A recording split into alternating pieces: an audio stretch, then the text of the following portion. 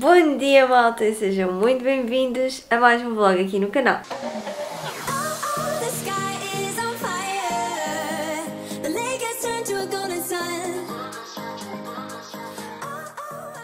Estou cheia de alergias, eu olho lá para fora e só vejo aquele cotãozinho assim no ar, que maravilha, para eu ficar ainda pior. Dentro desta temática das alergias, amanhã vou ter uma consulta com um especialista. Eu fui encaminhada, a médica de família encaminhou-me para um especialista. Vamos ver o que é que vai sair da consulta, o que é que não vai sair. Eu quero descobrir ao que é que eu faço alergia, porque eu até o dia de hoje não sei, tenho mais ou menos uma ideia, mas queria mesmo saber a que é que eu faço alergia mais especificamente. Hoje é domingo, portanto é dia de folga, eu tomei agora o meu pequeno almoço, bem, só bebi leite e café, honestamente não me apetecia comer nada de manhã, muitas vezes acabo por estar enjoada e não consigo comer, ah, mas já passou para aí uns 40 minutos que eu tive a terminar o vídeo que eu queria lançar hoje, entretanto vou-me vestir e acho que vou fazer um treininho. E nada de gozar comigo, porque como é óbvio eu não sou uma pessoa fit, nota-se. Já me fui vestir, já estou de leggings com um top e vamos tentar treinar. Tentar é a palavra-chave. Eu vou hoje tentar começar um plano de treinos de duas semanas. Não sei se vou aguentar porque toda a gente diz que aquilo é muito puxado. E é o seguinte, eu não sou uma pessoa fit, não é? Eu não sou uma pessoa que faça exercício. Na realidade, eh, fiz exercício ontem pela primeira vez em muito tempo e hoje estou aqui, ó, e eu fiz um treino bem leve, que era para não me matar logo no primeiro dia e eu mal sinto as pernas. Aliás, eu sinto-as, elas doem muito. Vamos ver como é que isto vai correr, bora lá. I know man passing by. Life is good, best I've ever felt. Get me Ainda agora comecei. Eu vou a dois minutos. Eu estou a morrer. Oh, I feel, I feel, I feel, I feel so alive. As I reach out, reach out, reach out, reach out to the. E ainda há mais um treino para fazer. Agora dos abdominais. Eu não sei como é que eu vou aguentar o segundo. Eu morri neste. Eu não consegui fazer todos os exercícios porque eu não aguentava sequer. Eu achei este plano de treinos bem fixe porque está tudo organizado por dias. Isto é gratuito. Nós entramos no site dela, era isso que eu disse, mas a youtuber chama-se Chloe Thing. Eu não conhecia. Vou deixar aí em baixo o link daquilo que eu estou a tentar fazer. Não sei como é que eu vou aguentar. Vocês estão a entender o meu estado? Olhem para isto. Eu tomei um banho na minha própria transpiração.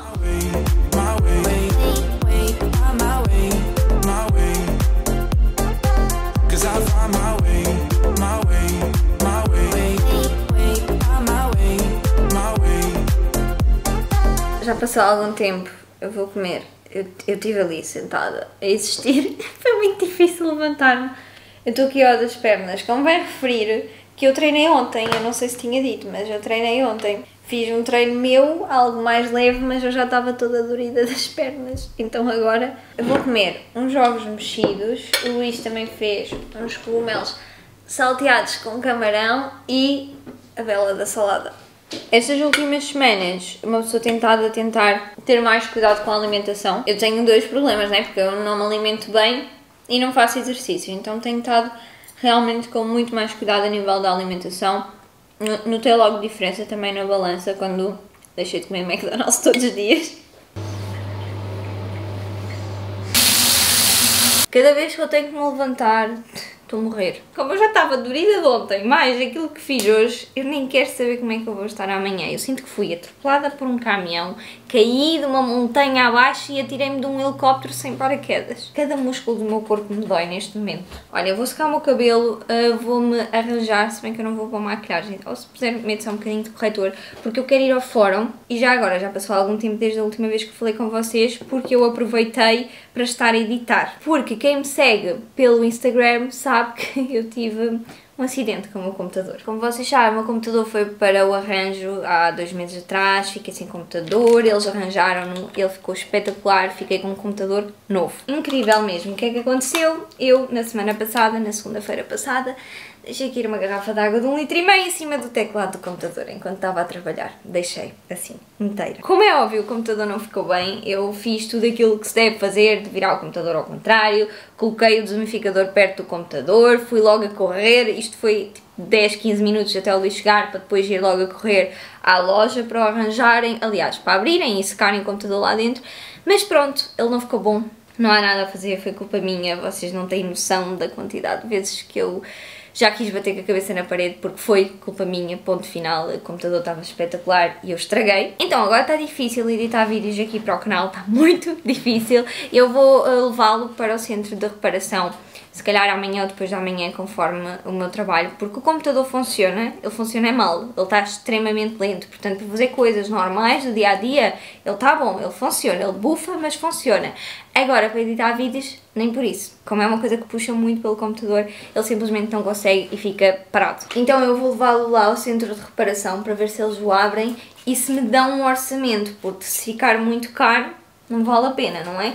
Agora, se for um valor aceitável, tendo em conta o computador que é, uh, vou mandá-lo arranjar, porque também não sei quanto tempo é que eles demoram para arranjar, mas digamos que demorem duas ou três semanas, é melhor do que nada, porque está assente que eu tenho que comprar um computador novo, eu sei, eu vou fazer, vai-me custar, porque vou ter que vender dois rins, o fígado, cabelo, eu vou ter que vender tudo.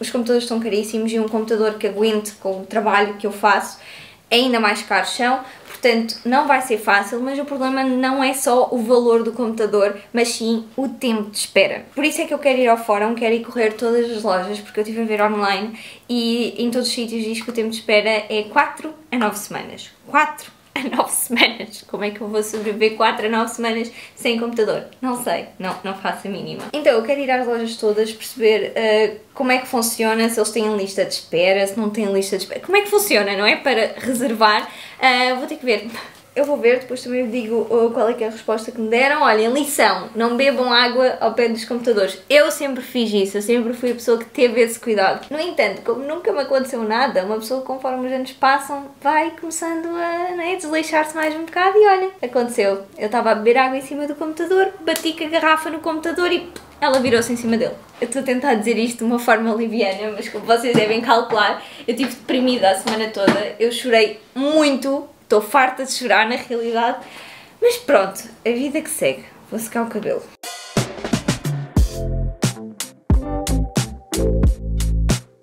Estou pronta, pus um bocadinho de corretor, uh, só que isto foi tipo lei do menor esforço. A minha esponja está minúscula por causa não está molhada, não me apeteceu ir melhor, então eu pus, falei com ela mesmo assim, isto está uma miséria, mas tá bom, vai, aquilo que é serve. Vamos para o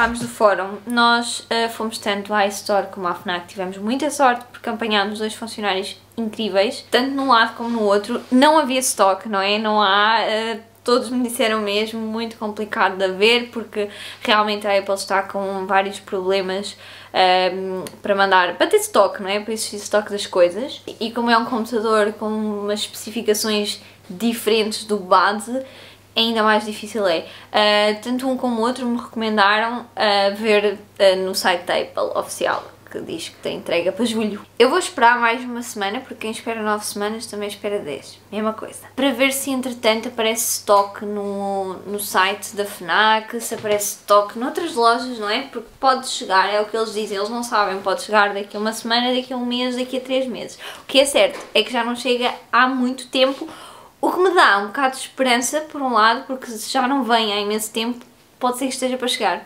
Por outro, também me assusta, porque se não veio até agora, se calhar também não vem tão depressa, não é? É o que é, vamos ver como é que isto tudo se processa e como é que isto se desenrola. Entretanto, queria-vos mostrar uns sapatos que mandei vir. Vocês lembram-se que eu andei à procura uh, na Bershka daqueles sapatos a imitar os da Versace e depois não consegui, não encontrei lá nenhum. Então eu mandei vir da China, eu mandei vir em rosa, assim bem rosa, porque eu era para mandar vir os pretos, só que eu, eu mando sempre quase tudo em preto, a alçada é sempre praticamente preto, então achei que ficava mais giro ser de uma cor para depois, se eu tiver uma festa, não é? neste caso até comprei pensar num casamento, para não sei, vestido preto, sapato preto, carteira preta, né? que é o normal para mim. Ao menos assim tenho uma corzinha a acontecer, já o experimentei, eles servem. Eu mandei vir no tamanho 36, se eu não estou em erro. E só diz que é size 6. Não sei a que é que isso corresponde. Mas eu tenho a ideia que mandei vir 36 porque as pessoas diziam que eles calçavam grandes. Eu gostei deles, são confortáveis, tendo em conta a situação, né, de serem gigantes. Pareceram-me confortáveis, eu andei com eles aqui por casa e foi tranquilo.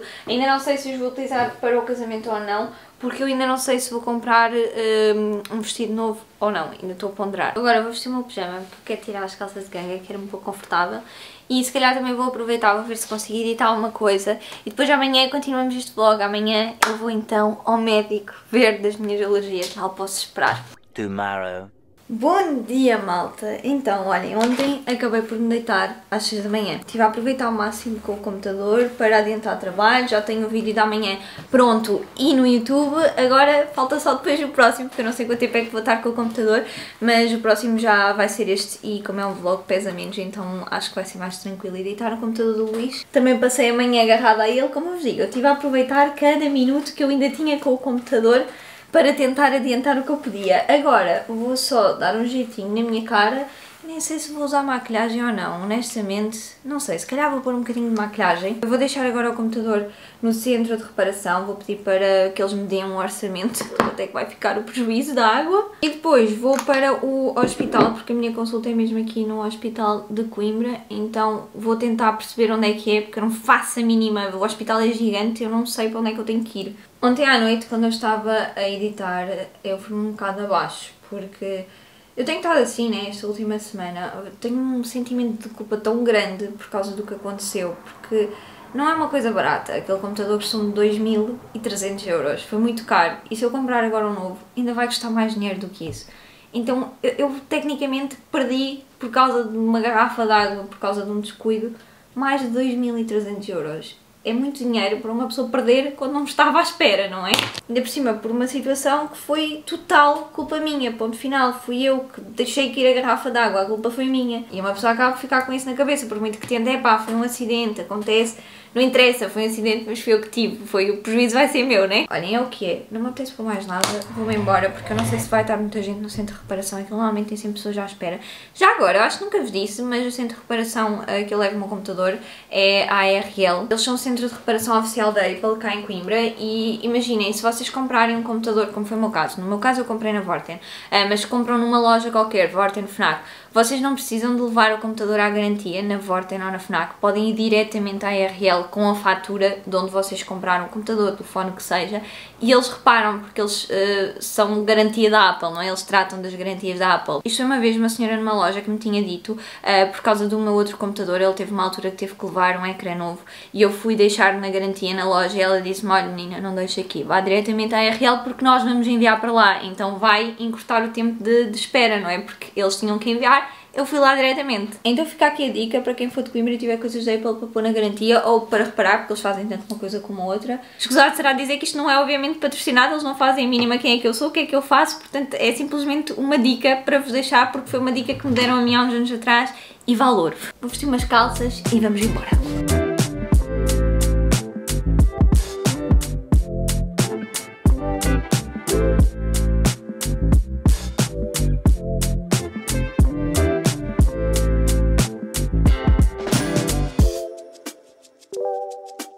Estou a transpirar por todos os poros. Fiquei nervosa de deixar o computador. Já ficou, eles vão ficar a fazer testes. Depois, em princípio, amanhã. O senhor estava com muito trabalho, então, em princípio, amanhã eles ligavam para me dizer se eles já conseguiram descobrir o que é que é. Para depois, obviamente, me dar um orçamento e eu poder avaliar o valor do estrago.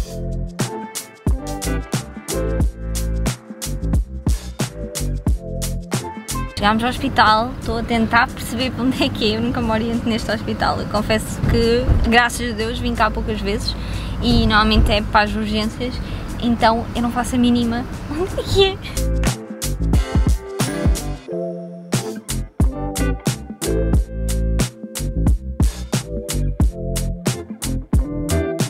Há um bocadinho de luz a mais. Já fui ao médico, olhem, estava com medo de estar demasiado tempo à espera. Minha consulta era às 5, eles dizem que nós temos que estar meia hora antes, né? Eu estava ali às 4 e meia, aliás, até fui antes das 4 e meia e hum, haviam lá pessoas a queixar-se que tinham consulta tipo às duas e meia, três, e já eram cinco e tal, e ainda estavam à espera, então eu estava com muito medo, porque depois também estavam assim ao nosso lado, a dizer que a última vez que tinha estado ali tinha sido ali à noite, eu, ai meu Deus, vou ficar aqui para sempre. Por acaso tive bastante sorte, by the way, estou com alergias, comecei a ficar com alergias ali dentro, foi ótimo. Estava no sítio certo para ficar com alergias.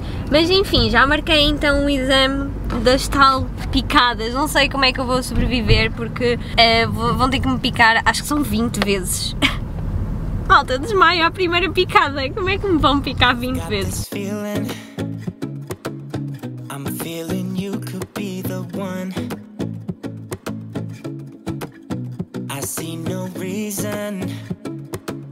why I should ever let you go.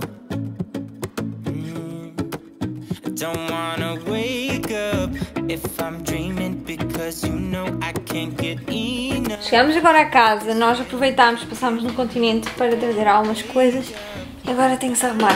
Tem que ser, né amor? wake up without you, baby. Without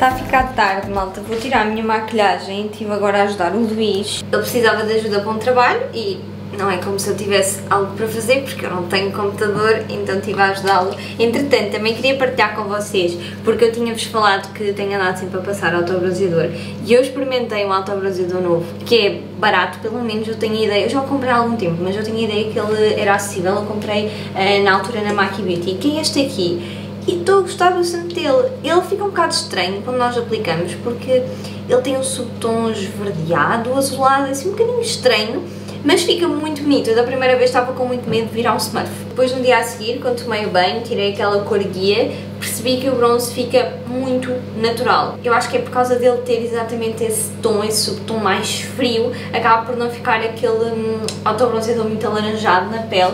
Eu ainda estou com autobronzeador, eu sei, não parece, eu sou muito branquinha, mas eu estou com autobronzeador neste momento. Eu tenho estado sempre a passar e ele fica mesmo com um bronze natural. Eu já passei, por exemplo, num dia e no dia a seguir voltei a passar para ele ficar um bocado mais intenso, porque ele não é muito intenso e estou a gostar bastante. Eu tenho o meu eh, no tom médio, eles ainda devem ter um dark, só que o dark, aquela palavra assusta-me um bocado, porque eu já utilizei uma vez um autobronzeador dark e era muito dark para mim. Então acho que me vou manter aqui com o médio e vou reforçando quando eu quero.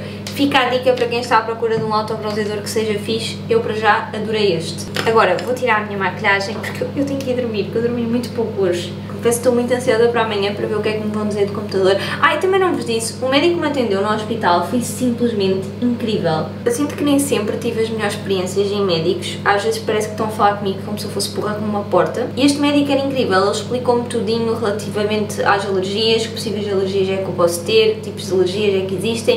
Enfim, ele explicou-me tudo de uma forma simples, com uma linguagem que dá para entender. Olha, gostei mesmo muito dele e espero da próxima vez que eu for, ele pelo menos tinha dito que ia tentar estar lá nesse dia quando eu for fazer as picadas que ele esteja, porque eu realmente gostei muito da forma como ele explica. Pelo menos eu entendi aquilo que ele disse ainda tenho que ir comprar ah, os medicamentos que ele me mandou. Pele limpa, já só falta fazer a minha skincare e vou terminar este vlog por aqui. Já agora, não, eu hoje não fiz exercício, malta, estava a morrer de ontem, eu não consegui fazer hoje, mas eu vou fazer amanhã. Não dava, malta, eu, eu mal me consigo levantar, quanto mais fazer exercício. Espero que vocês tenham gostado deste vlog, deixem o vosso like, subscrevam o canal, ativem o sininho das notificações, façam essas coisas todas e eu agora vou-me despedir e nós vemos no próximo vídeo.